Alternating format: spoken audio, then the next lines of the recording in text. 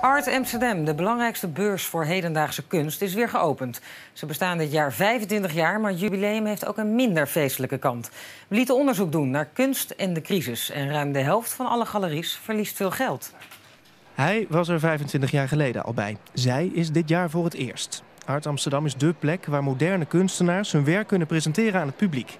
En dat is een eer. Nu, maar 25 jaar geleden ook al. Dat was natuurlijk een enorme uh, ja, pluim die je kreeg. Om Want was jong en beginnend ja, kunstenaar. jong en beginnend. En, uh, en uh, dat was toch meer een roes, die, die, die periode. Ja, het is de belangrijkste beurs, geloof ik. En nou ja, er komen veel mensen. Het is een goede plek.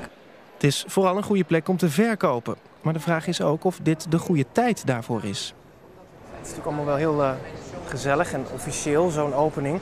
Maar ook hier, op Art Amsterdam, speelt de kredietcrisis een rol.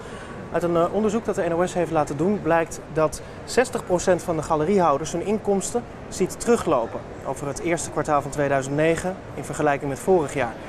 Ze verloren 35% van hun inkomsten. Aan het eind van het jaar gaat het dan om 30 miljoen euro, is de verwachting.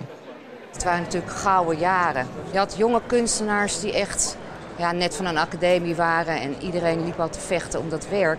En dat is nu allemaal een stuk rustiger. En ik denk dat dat ook niet slecht is, want die hebben nu ook de tijd om zich langzamer te ontwikkelen. En iets meer van een lange adem te hebben.